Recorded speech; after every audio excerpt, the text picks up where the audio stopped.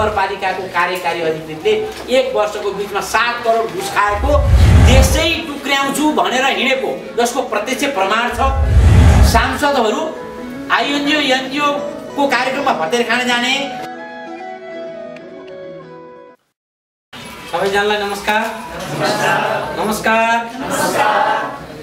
आज आश्विन शुक्ल पक्षको प्रतिपदा तिथि। हाम्रो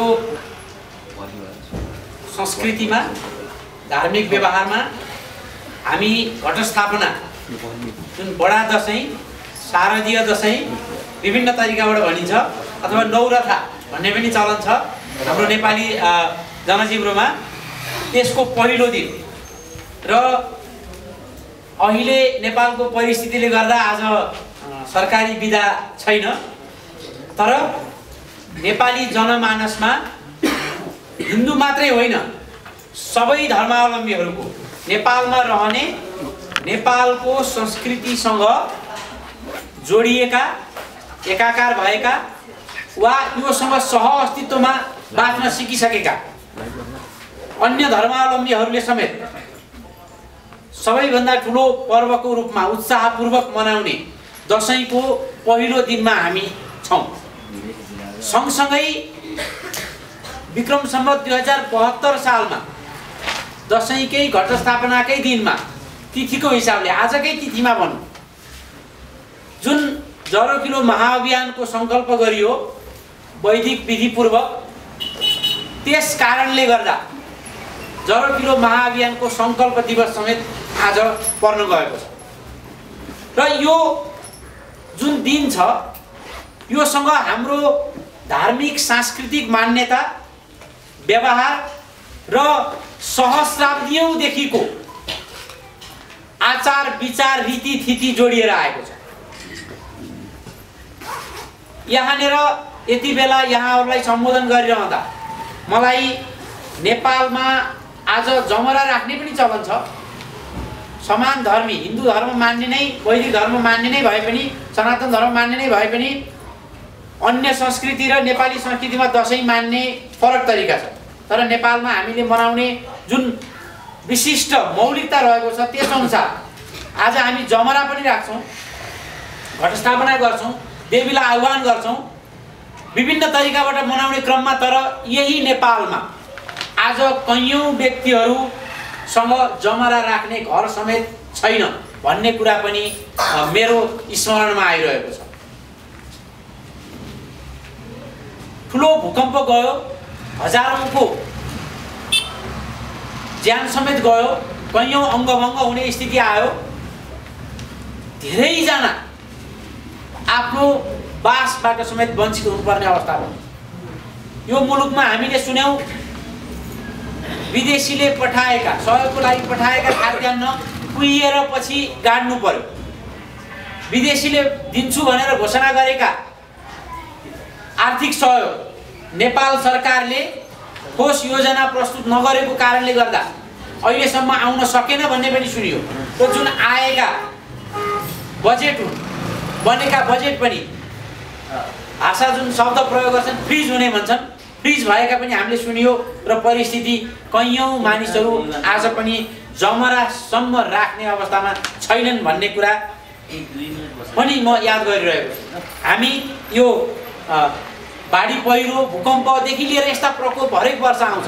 तर समष्टिमा फेरि जति नै दुःख परे पनि त्यो दुःखलाई जितेर उत्सव मनाउने सङ्कल्प गर्ने र अहिले तत्कालको दुःख भए तापनि भविष्यमा सुख आउनेछ भन्ने आशा लिएर अगाडि बढ्ने नेपालीको जुन प्रवृत्ति रहेको छ त्यो प्रवृत्तिलाई याद गर्दा आज म फेरि त्यो सङ्कल्प दिवसमा उत्साहित पनि छु। आजको जुन दिन छ यो शक्तिको उपासनाको दिन हो।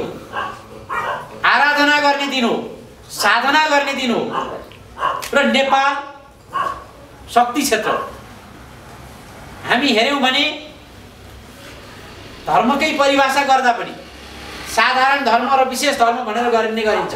साधारण धर्म जुन जहाँ तहीँ लागु हुन्छ जुनसुकै कालमा पनि लागु हुन्छ जुनसुकै देशमा पनि लागु हुन्छ। विशेष धर्म भनेको देशकाल परिस्थिति अनुसार हुन्छ। त्यही अनुसार हेर्दा हाम्रो त कस्तो मान्यता छ भने विभिन्न ठाउँहरू कसका क्षेत्र? त्यस क्रममा हेर्दा नेपाल शिव र शक्तिको क्षेत्र र त्यसमा पनि शक्तिको प्रधानता भएको क्षेत्र हो। यति भनिरहँदा आज हामी शक्तिका प्रतिमूर्ति बालिकादेखि लिएर वृद्धासम्म बलात्कारमा पर्न परेको त्यस्तो लज्जास्पद त्यस्तो अपराधको बोलवाला भएको परिस्थितिमा पनि हामी छौँ। हरेक दिन जस्तो त्यो समाचार आइरहेको छ। तर त्यो विचलनको कुरा हो। यही विचलनको कारणले गर्दा नै हामीले सङ्कल्प गर्नु परेको तर मूलत भन्दा यो शक्तिलाई मान्ने शक्तिको आराधना गर्ने शक्तिको सिद्धि अनुसारबाट जीवनमा व्यवहारमा सत्कर्म गर्ने दिव्य कर्म गर्ने यो भूमि हो। देवीहरूका अनेकौँ रूप हामी हेर्छौँ। महासरस्वती पनि देवीकै रूप हुन् महालक्ष्मी महाकाली। विचार गरेर हामी हेऱ्यौँ भने ज्ञान पनि हामीसँग छ सम्पत्ति पनि हामीसँग छ र अमृतत्व पनि हामीसँग छ। यो देहको विनाश हुनु हाम्रो दार्शनिक परम्परामा हाम्रो आध्यात्मिक परम्परामा त्यो अन्त्य होइन। अर्को जीवनको प्रारम्भ हो। त्यसो भएको हुनाले मैले महाकालीलाई मृत्युसँग जोड्न चाहिएँ अमृतत्वसँग जोड्न चाहेँ र सँगसँगै हामी हेऱ्यौँ भने सृष्टि स्थिति र प्रलय यी सबैको जुन नियन्ता मातृशक्ति देवी हाम्री आमा उनै हुन् भन्ने हाम्रो विश्वास रहेको यस हिसाबले हेऱ्यौँ भने हाम्रो पुरुषार्थ चतुष्टयमा जुन यो शरीरले तत्काल भोग गर्न सक्ने कमाउन सक्ने र त्यो धारणा गर्न सक्ने धर्मबाट हामी सुरु गऱ्यौँ भने धर्म अर्थ र कामका प्रतिमूर्ति पनि शक्ति हुन् र त्यहीबाट त्यही आधारमा मोक्षसम्म हामी पुग्ने हो। यस्तो परम साधनाको यो दिनलाई रोजेर हामीले सङ्कल्प गरेको यो कुरा जर किलो महाअभियान हामी हेऱ्यौँ भने समष्टिमा आदि भौतिकदेखि लिएर आदि दैविक र अन्ततोगत्या आध्यात्मिकसम्म जुन हाम्रो जीवन छ जुन हामीले गर्नुपर्ने पौरख छ जुन हाम्रो सिद्धि छ जुन पुरुषार्थ छ त्यो सबै हामी गर्न सकियोस्। यसो हेर्दा मान्छेले बुझेन भने एउटा कुनै अर्को संस्था नेपालमा किन एनजिओको त ठुलो प्रकोप छ? भनेपछि त्यस्तै खालको केही आयो कि? राजनीतिक दल खुल्ने कुरामा पनि नेपाल उर्वर नै छ। त्यस्तो खालको केही खुल्यो कि? भन्ने आउन सक्छ। र हामीले पनि काम गर्ने क्रममा कण्टके नै हो कण्टकम। काँडाले काँडा झिक्नु पर्ने भएको हुनाले राजनीतिक क्षेत्रमा राजनीतिकै शक्ति राजनीतिकै सङ्गठन खडा गरेर काम गर्नुपर्ने सामाजिक क्षेत्रमा सामाजिकै संस्था गर्नुपर्ने यो उद्यमशीलताको क्षेत्रमा उद्यमशीलताकै संस्था स्थापना गरेर गर्नुपर्ने यो हुनसक्छ। तर जे गरे तापनि सारमा त्यति मात्रै कुरा होइन। हामी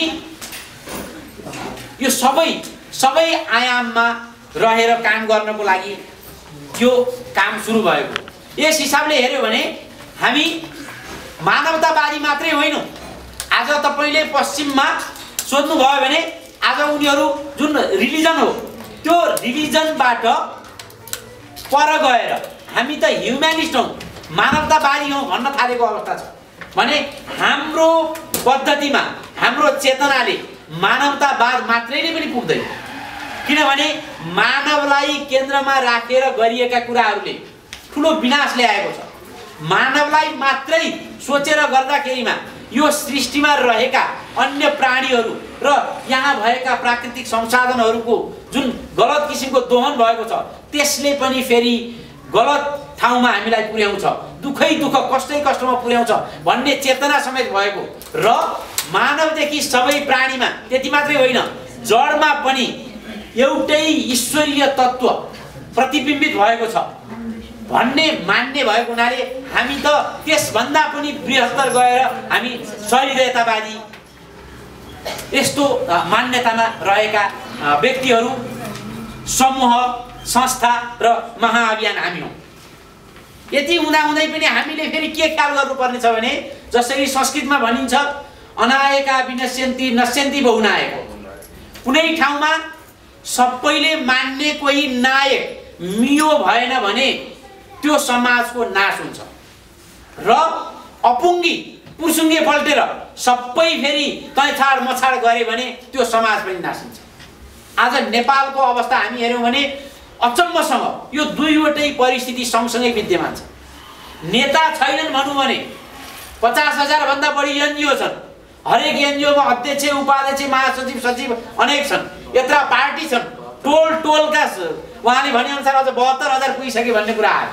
भने टोल टोलमा टोल समितिदेखि लिएर थरका गोत्रका जातका क्षेत्रीय आधारमा राजनीतिक दल त्यसका भातृ सङ्गठन त्यहाँभित्रका गुट उपगुट यहाँसम्म कि मन्दिरका समिति बनाउँदा समेत पार्टीका प्यानल गराउने स्थिति हेर्दा यस्तो लाग्छ नेपालमा जति नेता पैदा गर्ने उर्वर ठाउँ कहाँ होला। तर अर्कोतिर सारा नेपालीले विश्वास गर्न सक्ने सारा नेपालीको आस्थालाई बोक्न सक्ने सारा नेपालीले आशा भरोसा गर्न सक्ने त्यस्तो कोही पनि देखिएको अवस्था छैन र त्यही कारणले गर्दा आज कुन बेला नेपाल कसरी छिन्न भिन्न हुने हो? परिवार परिवारमा परिवारभित्रै पनि यस्तो स्थिति आइसक्यो कि परिवारमा कुनै सदस्यको देहावसान भयो भने त्यो लासलाई कहाँ लाने हो भन्नको लागि उनकै छोराछोरीका बिचमा खोसाखोस होला जस्तो स्थिति हाम्रो भइसक्यो। एउटाले एउटा पद्धतिबाट गर्ने भन्ने भयो। एउटाले चाहिने दाह संस्कार गर्छु म मेरो परम्परागत तरिकाबाट भन्ने भयो। अर्कोले बाक्सामा बन्द गर्छु भन्ने हो कि? भने यस्तो स्थिति आइसक्यो।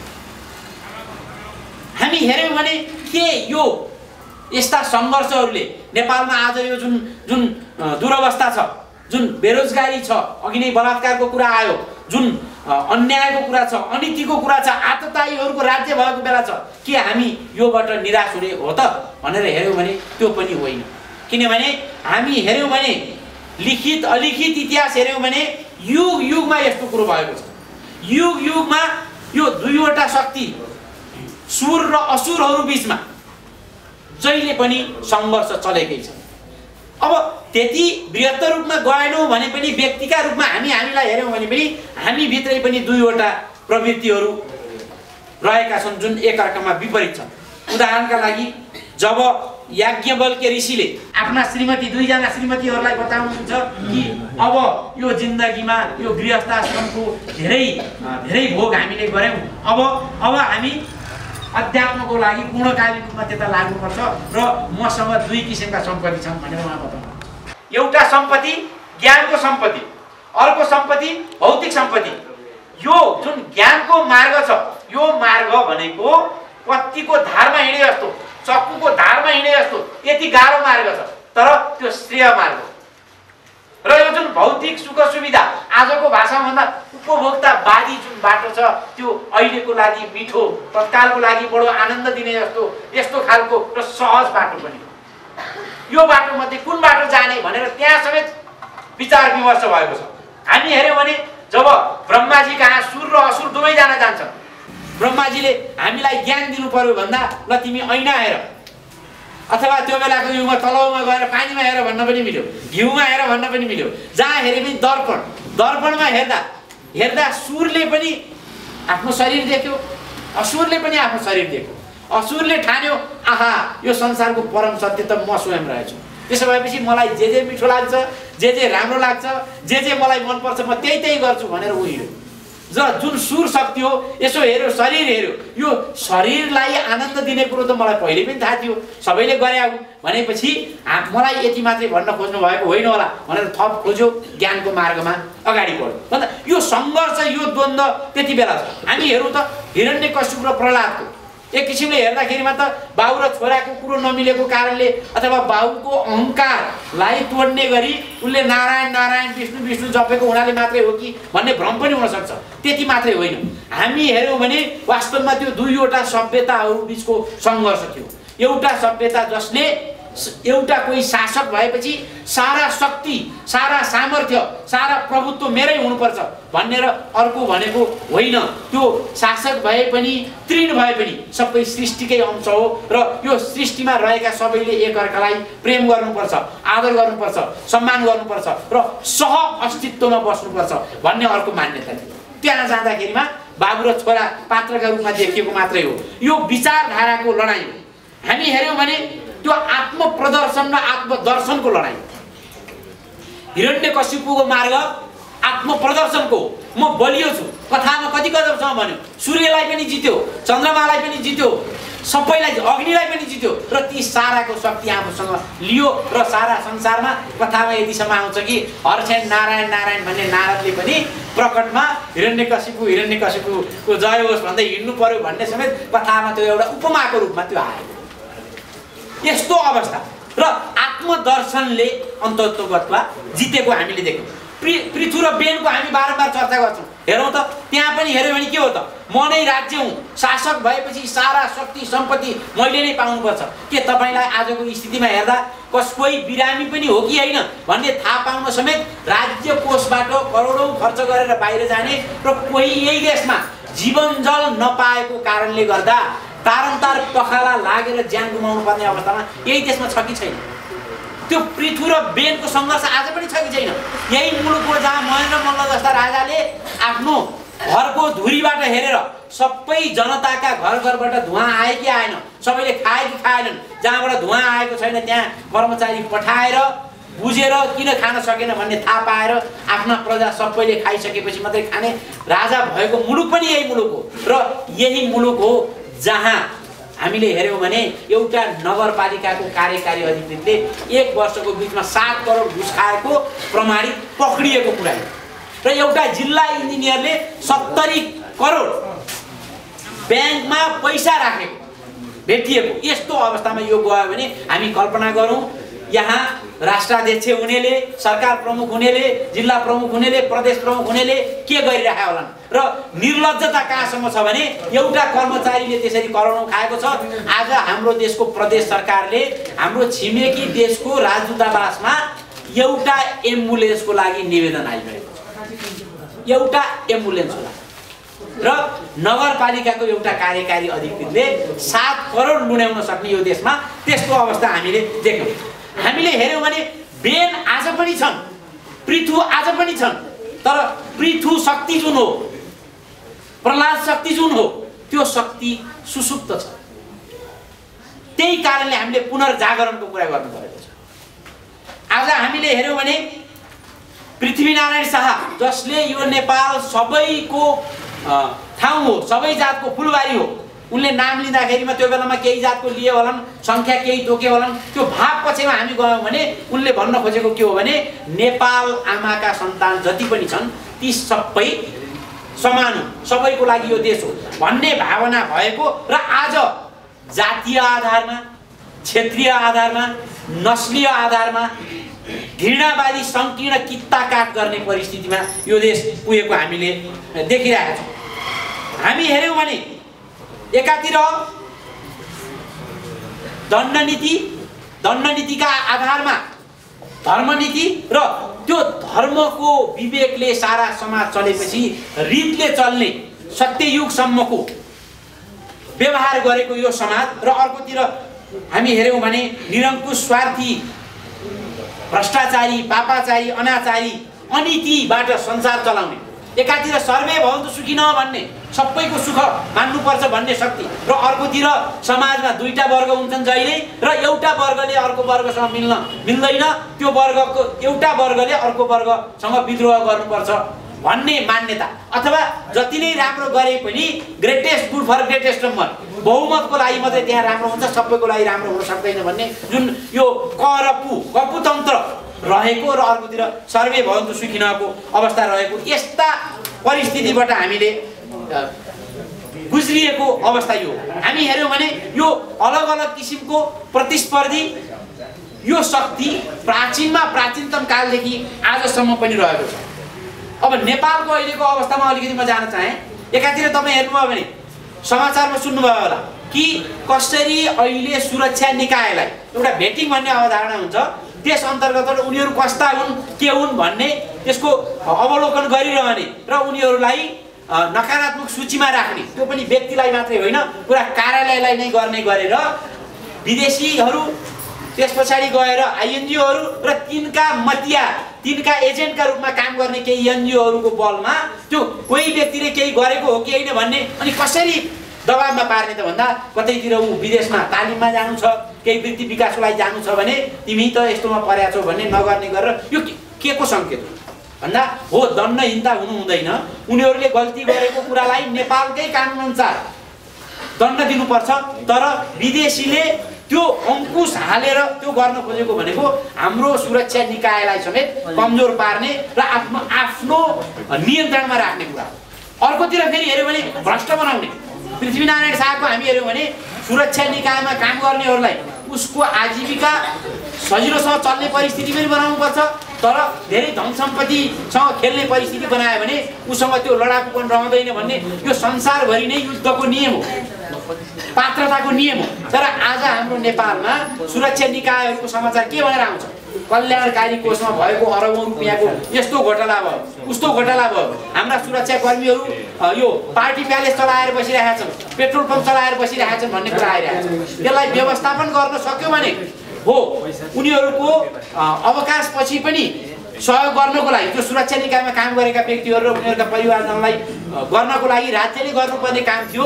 राज्यले आफ्नो दायित्व निर्वाह नगर्ने र एउटा कोष त्यसरी बनाएर त्यो कोषलाई भ्रष्टाचारको मूलको रूपमा प्रयोग गर्ने र सारा सुरक्षा निकायलाई पङ्गु बनाउने हिसाबले यो गइरहेको छ। र हामी हेऱ्यौँ भने न्यायपालिकातिर हेऱ्यौँ भने बारम्बार अहिले आइरहेको छ कि न्यायपालिकामा आइएनजिओ एनजिओको यति प्रभाव भयो कि आज कुनै पनि मुद्दा त्यहाँ जाने बित्तिकै स्वतन्त्र रूपमा गर्न सक्ने नसक्ने भन्ने कुरामा धेरै प्रश्नहरू आउने भए। प्रधानमन्त्रीले समाचारमा पढेको प्रधानमन्त्री आफैले के भनेको भनेर समाचारमा आयो भने यसको सत्यता मलाई थाहा छैन उहाँले नै भन्नुपर्छ।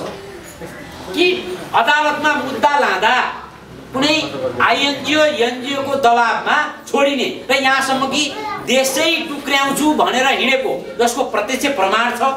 हजारौँ कहीँ कहीँ सयौँ मान्छेहरू त्यहाँ उपस्थित छन् कोही देशका छन् कोही विदेशी समेत आएका छन् र एकदमै लिखितम रूपमा भनेको छ त्यस्तोलाई अदालतमा लाँदाखेरिमा अदालतले यो कुनै मुद्दा लाग्ने कुरा होइन भनेर छोडिदिने गर्यो केही गर्नै सकिएन भनेर यो मुलुकको कार्यकारी प्रमुखले बोलेको अवस्था आयो। के यो अवस्था हो?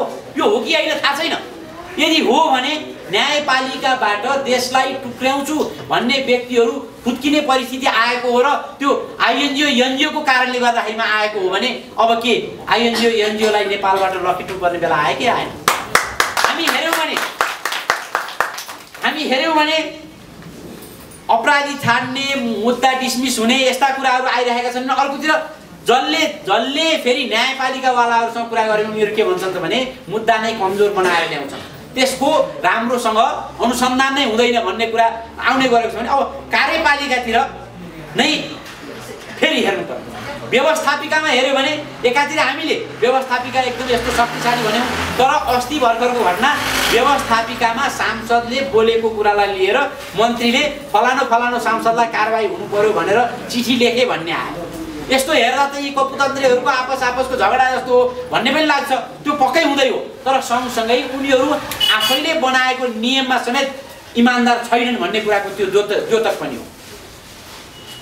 व्यवस्थापिकामा बसेको बसेर बोलेको कुरालाई लिएर कहीँ मुद्दा लाग्दैन भनेर उनीहरू नै नियम बनाइरहेका छन्। अधिकांश त हाम्रो व्यवस्थापिकामा कोरम पुग्न पनि गणपुर सङ्ख्या पुग्न पनि गाह्रो छ।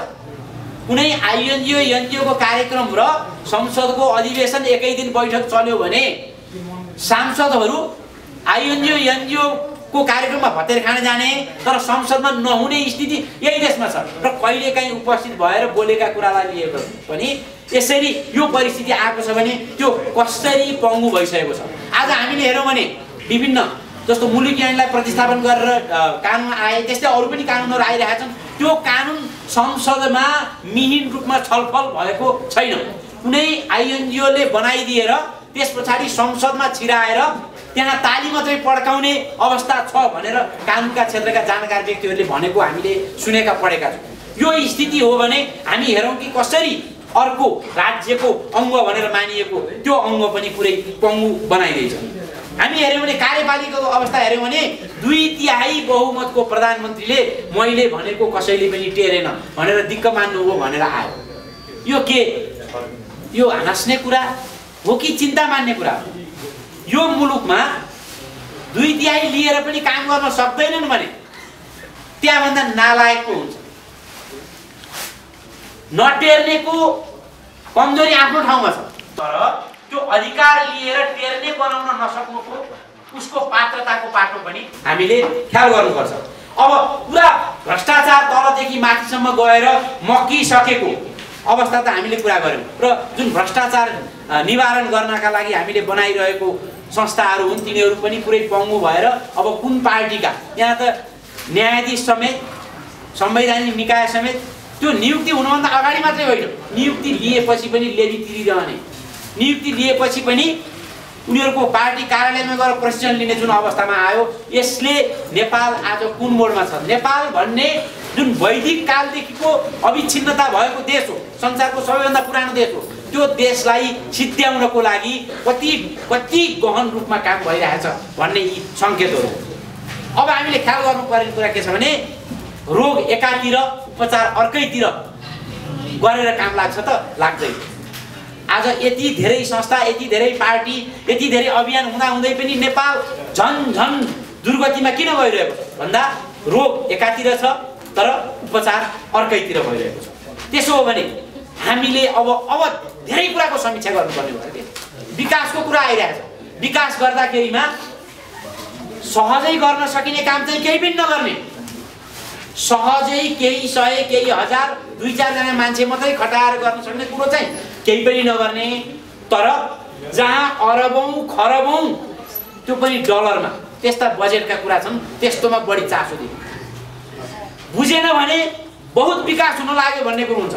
तर बुझ्यो भने र आठवटा देश संसारमा यस्ता भइसके जसले सुरुमा ठुल्ठुला परियोजना भनेर खरबौँ डलर अरबौँ डलर करोडौँ डलर आफ्नो देशको अनुसार। ऋण लिए पछि ब्याज समेत तिर्न नपरेको नसकेको कारणले गर्दा देशका केही भूभाग लिजमै दिनु पर्यो हाम्रै सार्क क्षेत्रमै त्यस्तो घटना भइसक्यो भने आज हामीले ख्याल गर्नुपर्ने के छ भने कसैले विकासको गीत गायो भन्दैमा त्यो गीतको पछाडि लाग्ने अवस्था छैन। हामीले हेर्नुपर्ने छ कि कतै पहिला अरू तरिकाबाट नेपाललाई यसरी सिद्ध्याइसके पछाडि अब अन्तिम प्रहार स्वरूप विकासका ठुल्ठुला कुरा गरेर नेपालले पाँच सय वर्षमा पनि तिर्न नसक्ने ऋण ल्याएर नेपालले देशको सारा बजेट जति त्यही ऋणको ब्याज तिर्न पनि नपुग्ने गरेर ऋण ल्याएर नेपाललाई नै पुरै लिजमा दिने षड्यन्त्र त यहाँ भइरहेको छैन। किनभने हामी हेऱ्यौँ भने एफडिआई जसलाई भनिन्छ त्यो आएको छैन। जो व्यक्तिले कम्पनीहरूले लगानी गर्न ल्याउनु पर्ने हो। त्यस्तो आएको छैन। सारा प्राथमिकता अहिले केमा छ भने ठुल्ठुला ऋणहरूमा छ। एकातिर पेट्रोलमा पाँच रुपियाँ हामी उठाउँछौँ र जलविद्युत परियोजना बनाउँछौँ भन्ने पनि यही देशमा यिनै सरकारमा बसेकाले। र पछि अहिलेसम्म कति पैसा जम्मा भयो भन्ने कुरो हिसाब नदिइकन त्यो फेरि अर्कै विदेशी कम्पनीलाई ठेक्कामा दिने पनि यिनै सरकारमा बसेका। हामी त बिर्सिने गरेका छौँ। नेपालीहरूको बानी क्षणिक उत्तेजनामा आउने वा क्षणिक हर्षमा उद्वेलित हुने। र यहाँ हामी हेऱ्यौँ भने यस्ता खालका स्थितिहरू। हामी हेऱ्यौँ भने अस्ति भर्खरको रिपोर्टमा यहाँले थाहा पाउनुभयो होला स्विस ब्याङ्कमा यो पछिल्ला केही वर्षमा खास गरी पछिल्लो एक दशकमा त झन् विपत्ता नेपालबाट लगेर सम्पत्ति राख्ने जुन बढेको जुन आँकडा आयो त्यो हेऱ्यो भने नेपाल कसरी लुटिँदैछ नेपाल कसरी सिद्ध्याइँदैछ र कालो धन त्यो कालो धन पहिला नेपालबाटै बाहिर पठाउने पछि फेरि बाहिरबाट नेपाल पठाउने र दोहोरो दोहोरो त्यसले समस्या। एकातिर नेपालको सम्पत्ति केही व्यक्तिहरूको हातमा जाने अर्को कुरो बाहिरबाट त्यसरी अपारदर्शी हिसाबले नेपालमा पैसा आएको कारणले गर्दा मनी लन्डरिङ आदि इत्यादिमा परेर नेपाल नै प्रतिबन्धमा पर्ने जसरी नेपालको आकाश यहाँहरूले थाहा पाउनु भएको थियो धेरै समय प्रतिबन्धमा परे जस्तै गरेर सारा देश नै देशको अर्थतन्त्र नै पर्ने। अब हामी विचार गरौँ त आज नेपालमा हामीले विदेशी मुद्रा जुन सञ्चित गर्छौँ त्यो कुन मुद्रा गर्छौँ? डलर गर्छौँ युरो गर्छौँ भारतीय रुपियाँ समेत गर्छौँ। तपाईँहरूले याद गर्नुभएको छ कुनै दिन भारतले त गरिसक्यो डिमोनेटाइजेसन भनेर। उसले त्यो पैसालाई हटाउने भनिसके पछाडि कति नेपालको करोडौँ भनिन्छ अरबौँ पनि हुनसक्छ। त्यो पैसा सबै त्यो खोस्टो कागज बन्यो कि बनेन भुटानले साट्न सक्यो नेपालले सकेन। गफ कत्रा दिन्छन्। तर त्यति त्यो पनि ब्याङ्किङ उमा च्यानलमा भएको। त्यो पैसा समेत साट्न नसक्ने यो देशमा कुनै दिन अमेरिकाले अहिलेको डलर हामी संसारमा धेरै धेरै आतङ्ककारीहरूले प्रयोग गरे त्यसो भएको हुनाले हामी यसलाई डिमोनेटाइज गर्छौँ र नयाँ नोट छाप्छौँ भन्यो भने नेपालको अर्थतन्त्र स्थिर स्थिर रहने त के कुरा बाँच्न सक्छ? हेरौँ त। यही देश जसले उत्तर दक्षिणका देशहरूलाई मुद्रा छापेर पठाउने यही देश हो। तर यही देश आज हाम्रो भाग्य विधाता अरू छ। अन्यत्रको मुद्रास्फीति भयो भने हाम्रो पनि हुन्छ। अरूले डिमोनेटाइजेसन गर्यो भने हामी पनि गर्लाम गुर्लुम ढल्छौँ। यस्तो यो नाजुक अवस्थामा यो बेहालको अवस्थामा हामी पुगेका छौँ। हामी हेऱ्यौँ भने आज अघि नै मैले सङ्केत पनि गरेँ कि बाउ अथवा आमा बित्दाखेरिमा लासको खोसाखोस हुने गरेर जुन यो कन्भर्जन भन्छन् नि कसले गर्दा बढ्यो? किन बढ्यो? किन किन त्यो रोकिन सकिरहेको छैन? किन सारा संसारभरिको साधन स्रोत प्रयोग गरेर यो नेपालको मौलिक धर्म संस्कृति सिद्ध्याउनु खोजिँदैछ र उनीहरूलाई मिल्ने गरी देशका मूल कानुनदेखि अरू कानुनहरू पनि कसरी बन्दैछन् संरचनाहरू कसरी बन्दैछन् भन्ने कुरा हामी हेर्नु पऱ्यो र हामी हेऱ्यौँ भने प्राकृतिक संसाधनको दोहन गर्ने कुराहरूदेखि लिएर र र फेरि कस्तो भने सारा व्यक्ति व्यक्तिको दिमागमा नेपाली हुनु भनेको त एउटा अपराध हो कि? नेपाली हुनु भनेको संसारको सबभन्दा गए उद्रेको हुने हो कि? भन्ने खालको जुन जुन खालको हिन्ता भाव गराइदिएको छ। शिक्षाबाट आज एउटा पनि यस्तो विद्या केन्द्र नेपालमा छैन जसले हाम्रो मौलिक रैथाने वैदिक कालदेखिको बौद्ध जैन बोन किराँती यी सबै पद्धति अनुसारका हाम्रा ज्ञान के थिए? र नेपालीले हाम्रा शिल्पी समुदायले पुस्तौँ पुस्तादेखि ल्याएको ज्ञान के हो? हाम्रा किसानहरूले ल्याएको ज्ञान के हो भन्ने बताउने एउटा पनि विद्या केन्द्र छैन। एउटा पनि छैन। र हामी सबै यो थोत्रो फोटोकपी जस्तो लिएर जुन हामी बसिरहेका छौँ अब यो अवस्थामा जुन रहेका छौँ यो अवस्थामा रहे रहेको के रुनको लागि हो त? हाकार गर्नलाई हो। अहिले मैले यति कुरा गरेको पनि हामी अब बडा बिहालमा छौँ अब हामी पलायन हौँ भन्नलाई हो त? होइन। त्यसको लागि होइन। जति ठुलो सङ्कट त्यति नै ठुलो अवसर। जति ठुलो सङ्कट त्यति नै ठुलो कर्तव्य। र कम्तीमा हामी जस्ता जसको चेतना जागृत भएको छ अब हामीले हेर्नुपर्ने छ अब हामीले के हेर्नु छ भने यो भाषाका नाममा हामीलाई जुन झगडा गराउन खोजिएको छ बसाइ सराईका नाममा झगडा गराउन खोजिएको छ त्यस पछाडि गएर विभेदका नाममा जुन गर्न खोजिएको छ हो हामीसँग जुन समस्या छ त्यो समस्याको समाधान गर्नै पर्छ जुन घाउ चोट छ त्यसको उपचार गर्नुपर्छ। तर त्यसलाई बाँदरले बाँदरले चाहिँ त्यसलाई झन् झन् कोट्याएर घाउ बनाउने सेप्टिक बनाउने क्यान्सर बनाउनेतिर हामी लाग्नु हुँदैन। यो प्रतिक्रियात्मक होइन कि स्वक्रियात्मक? सहिदेयताको पद्धतिबाट हामी जाने। यो यो गर्नलाई फेरि के हुनुपर्छ भने हामीले हाम्रो चरित्र के हो हाम्रो विशेषता के हो हाम्रो स्वधर्म के हो भन्ने बुझ्नुपर्छ। जसरी व्यक्तिको चरित्र विशेषता स्वधर्म हुन्छ त्यसरी नै समाजको समुदायको पनि हुन्छ त्यसरी नै देशको पनि हुन्छ। जबसम्म यो नेपाल देशको यो म कुनै कुनै सम्प्रदाय यस्तो ट्याग लगाउने कुरो गरिरहेको छैन कि हाम्रो आफ्नो चरित्र के हो विशेषता के हो स्वधर्म के हो यो कुरो जबसम्म हामी बुझ्न सक्दैनौँ तबसम्म यो देशका लागि हामीले गर्नुपर्ने कर्तव्य निर्वाह गर्न सक्दैनौँ। म अब करिब करिब अन्त्यतिर आइसकेको छु अब के गर्ने त त्यसो भए? बारम्बार म भन्ने गरेको छु कि प्रतिक्रियात्मक हाम्रो होइन। अरण्य रोदन हामी गर्ने होइन पलायन हामी गर्ने होइन। हामी समस्याका कुरा हामी पनि गर्छौँ तर के का लागि भने समाधान पहिले हो। अबको समाधान भनेको हामीले थाहा पाएको के भने एउटा विद्या केन्द्र हामीसँग यस्तो हुनु पर्यो। शिक्षा जसलाई भनियो त्यो शिक्षा पद्धति नै हाम्रो आफ्नो स्वधर्म अनुसारको हाम्रो विशेषता अनुसारको हाम्रो चरित्र अनुसारको हाम्रो देशकाल परिस्थिति अनुसारको हामी गराउनु छ। र अर्थतन्त्र पनि यसरी परावलम्बी परनिर्भर यस्तो होइन कि स्वावलम्बी स्वाधीन र सहिदेयता अर्थतन्त्र हामी खडा गर्नु छ। र र हामी बिचको जुन झै झगडा बेमेल द्वन्द्व नहोस् भन्नको लागि हामी यस्तो सङ्घ हामी खडा गर्दैछौँ।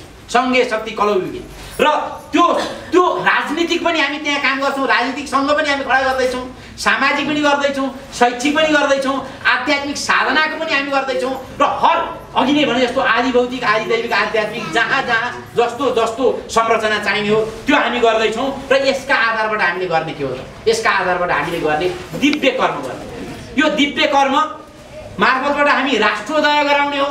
यो त राष्ट्रोदयको महायज्ञ हो। र त्यसको मार्फतबाट वसुदैव कुटुम्बकमलाई हामीले आत्मसात गर्दै यो सर्वे भवन्तु सुखी नहको सन्देश सारा संसारमा फैलाउने।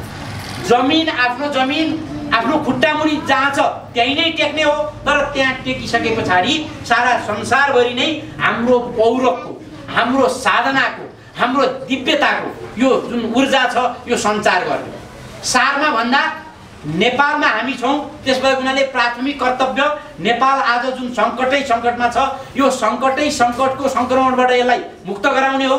नेपाललाई संसारका अग्रणी अहिले जुन भनिएका विकसित भनिएका देशहरूमा भएको जस्तो तर नेपालको आफ्नो देशकाल परिस्थिति अनुसार सुहाउँदो। ती सबै आधारभूत विकास गर्ने हो र अन्ततोगत्वा नेपाललाई विश्वको अग्रणी र केन्द्र बनाउने हो। किनभने त्यसो गर्दा मात्रै जुन विश्वले पनि आज भोगेको जुन सङ्कट छ जुन नयाँ सैद्धान्तिक मार्ग निर्देशन सारा विश्वलाई चाहिएको छ त्यो हामीसँग छ त्यो कुरो हामी दिन सक्छौँ। र यो झरकिलो महाअभियानको सङ्कल्प गरिरहँदा दुई हजार बहत्तर सालमा दम्पति मात्रै भएर म र मेरी श्रीमती मात्रै भएर गरिरहँदाखेरिको कल्पना भनेको त्यो हामी नेपालभित्रको लागि मात्रै भन्ने होइन। प्राथमिक त नेपालको लागि नै हो तर यो सारा संसारको लागि हामी त अघि नै भने मैले मानवतावादी मात्रै पनि होइनौँ हामी। हामी त सरिदेतावादी चर अचर सबैका लागि गर्ने जड चेतन सबैका लागि सोच्ने हामी हौँ। भनेपछि यो जुन महाअभियानको सङ्कल्प यो तिन वर्ष सङ्कल्पको हिसाबले तिन वर्ष र स्थापनाको हिसाबले श्री पञ्चमीमा बल्ल तिन वर्ष पुग्छ। यति यो यो कम समय हो। कहिलेकाहीँ व्यक्तिहरूलाई हाम्रो व्यक्तिको जीवन त छोटो छ। त्यो हिसाबले हेर्दा त तिन वर्ष भनेको धेरै ठुलो जस्तो लाग्छ। तर सभ्यताहरूको इतिहासमा सृष्टिको इतिहासमा देशहरूको इतिहासमा विश्वको इतिहासमा तिन वर्ष भनेको केही पनि होइन। यो यो सानो समयमा आज हामीले हेऱ्यौँ भने संसारभरि आज विभिन्न ठाउँमा सङ्कल्प दिवस मनाइरहेको छ। नेपालमा पनि मेचीदेखि महाकालीसम्म विभिन्न ठाउँमा एउटा घरबाट निक्लेर त्रिहत्तर सालमा जाँदासम्म हामीले सामूहिक रूपमा मनाएका थियौँ र आज यसरी देशव्यापी र अन्तर्राष्ट्रिय विस्तारमा यो गएको छ। मानिसहरू प्रत्यक्ष जोडिएर नजोडिएर विभिन्न तरिकाबाट यो बढ्दैछ र गुणात्मक र मात्रात्मक दुवै हिसाबले आज जरो किलो महाअभियान यो साधन हो फेरि। जरो किलो महाअभियान नै प्रधान होइन साधनका रूपमा यो चाहिएको हो। मूल कुरो भनेको चाहिँ सुखको जुन साम्राज्य गराउने कुरा छ नि। जुन सत्ययुगको हामीसँग जुन चाहिने अनुकल्पना छ र वैज्ञानिक सत्यको अभिनिर्माण जुन हामीले गरेका छौँ त्यो कुरो प्रधान हो। सरिदेयता भन्ने जुन छ जसका आधारमा त्यो भनेको हिंसा गर्नेको हिंसालाई सहने भनेको होइन। कण्टकेनैव कण्टकम त्यसलाई गर्नुपर्ने निराकरण पनि हामी गर्छौँ। तर मूल रूपमा कसैलाई दण्ड दिँदा पनि ऊप्रतिको करुणा भाव हामी छोड्दैनौँ। र समष्टिमा भन्दाखेरिमा यो सारा संसारमा हामी जो मानव भएर जन्मेका छौँ मानव भनेको यो यो चाहिँ पुरुषार्थ गर्ने पौरख गर्ने कर्म योनि हो अरू भोग योनि हो।